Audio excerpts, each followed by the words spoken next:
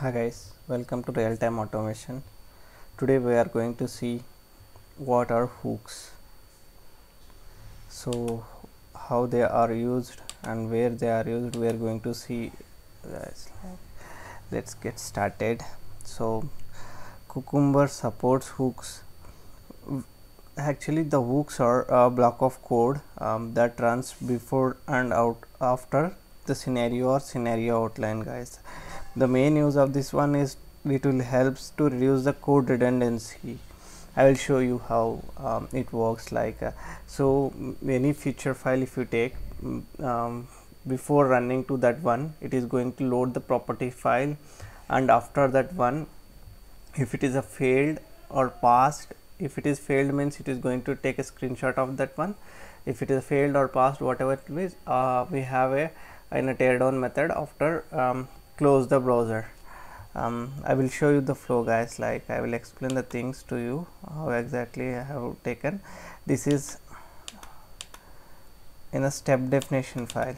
You can see this is a step definition file for one of the feature I have captured before and after annotations here. Like you can see before annotation it is loading the test data for me from the properties file and after data it is uh, we are doing the tear down here like uh, okay. Uh, so I am passing the scenario guys like uh, which step uh, um, and uh, what is a failed it is a failed or pass we'll get to know from here like a value I am passing here. Um, in common helper I have written a method like in if condition if the scenario is gets failed means it is going to take a screenshot. Um, this screenshot method I will be um, uh, I will be giving you in description. Copy paste the sa same um, screenshot um, it will work for you.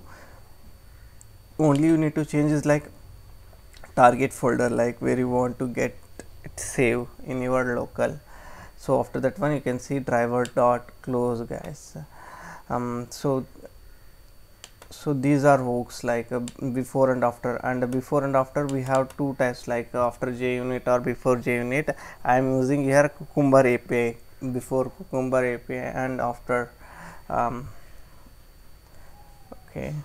So um, to show you like how exactly it works guys I have um, wantedly failing the test case here like giving the assert dot assert true so that I will um, I will run a debug mode like how these things are working. Before to our script uh, this particular should execute. After uh, running of our script like if, here it is a failed condition right? I am wantedly failing. It should come here. I will show in a debug mode.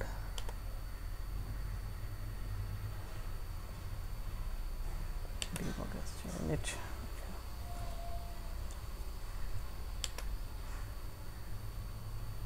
so guys so before method you can see like uh, uh, debug mode has come here. Um, let's uh, you know right the, like in one of my last video I showed about the property file.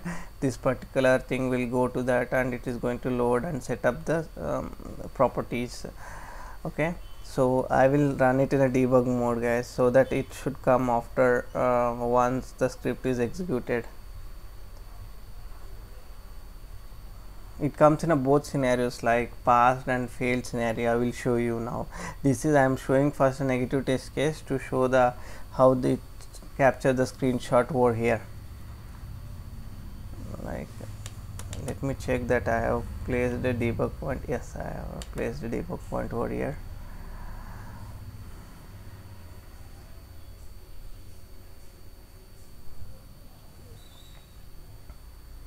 so here it will fail guys as I placed the assert dot as uh, assert condition as false here. You can see the debug point as already already here and the test case is also failed. You can see guys the scenario. Here the value is already stored. Um, we will press as step into step over here f6 and no you can see like if condition if it is failed then it is um, going to execute this screenshot. Here it's a failed test case right? I am showing. You can see.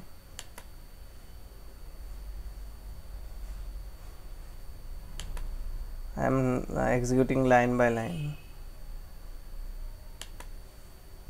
So it is storing the um, screenshot in that particular uh, target location um, so uh, and also we are getting the means we are storing with the name name of that scenario uh, that we passed in a feature file. You can see like validate the negative login functionality the name of the scenario. With set name we are going to save here. You can see dot get name scenario dot get name. And that is a um, so you need to mention like uh, you need to embed it in image or ping or uh, like there are a lot of type of uh, screenshots right whatever. It's you can give it in that way. So now it has been um, stored in that particular location. I will show i will um, complete this execution driver dot close so it is it has closed the browser also. Now i will show you like where exactly it got stored the screenshot got stored. Just i will refresh it guys. So target you can see. Target test report and you can see the image. Here it got failed.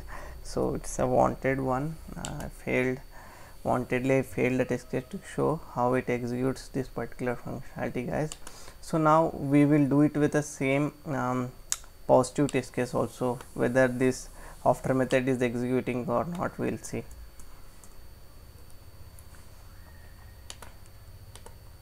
So I will run in a same debug mode here.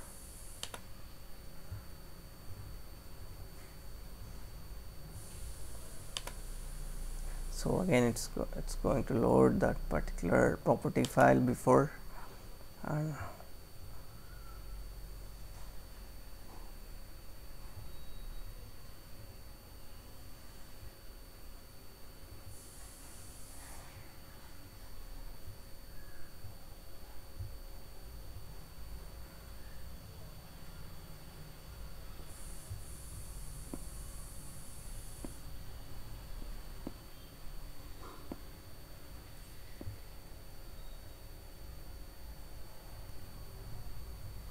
now here it is going to okay. Did I take it out? That okay. It is going to execute entire method guys like so the test case is also passed and you can see it has closed the browser also for us like um, sorry um, okay. Now we are in a teardown and the result is been captured. We will execute step by step. You can see now it should be in a pass it state guys here. So directly.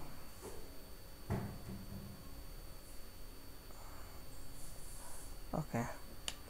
Um, so yes I need to pass this one here. So that it should come out of if condition right? Mm -hmm. so I will do step over. Yeah.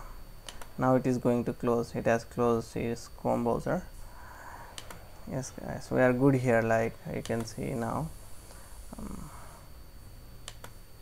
so now there is no um, ping or image png or image not get generated. The, this is a passed test case right? So this is all about hooks guys like how it works. I showed like the before and after um, um, annotations that cucumber api annotations um, here works as a hooks. Um, so it's always works before and after scenario or scenario outline guys here in a feature file. Thanks. Thanks for watching my video. And if you have any doubts you can reach to reach out to me by comments or like I have a web based real-time automation. Um, thanks guys. Bye